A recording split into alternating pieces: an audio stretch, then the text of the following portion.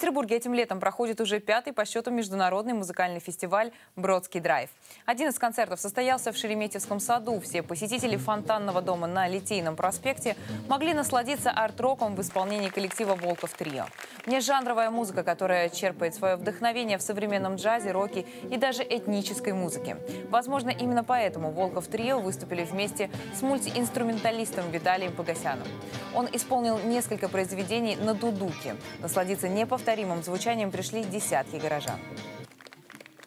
Для нас же это возможность э, послушать друг друга, предложить что-то и сыграть вместе, найти какие-то языковые формулы, которые нам помогут что-то сыграть. Этим летом фестиваль подарит петербуржцам и гостям города 10 ярких концертов. Он завершится 28 июля.